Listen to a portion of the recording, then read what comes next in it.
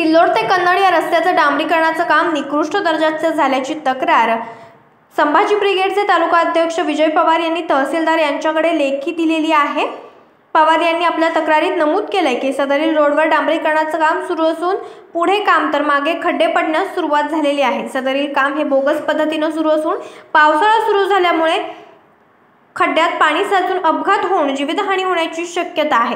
यामुळे संबंधित रोडच्या कामात लक्ष घालून या रोडचं सुरू असलेलं बोगस काम तत्काळ थांबवावं आणि संबंधित ठेकेदार व अधिकारी यांच्यावर आपण योग्य ती कायदेशीर कारवाई करावी आणि संबंधित अधिकारी व ठेकेदार यांच्याकडून आम्हाला या कामाचा estimate schedule B work order त्याचबरोबर संबंधित ठेकेदारांची नावं अशा प्रकारची माहिती देण्याच्या सूचना कराव्यात.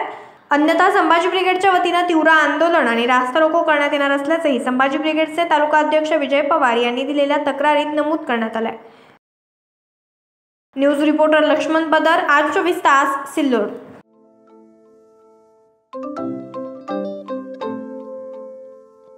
नवनवीन आणि ताज्या घडामोडींसाठी आज चोवीस तास सबस्क्राईब करा.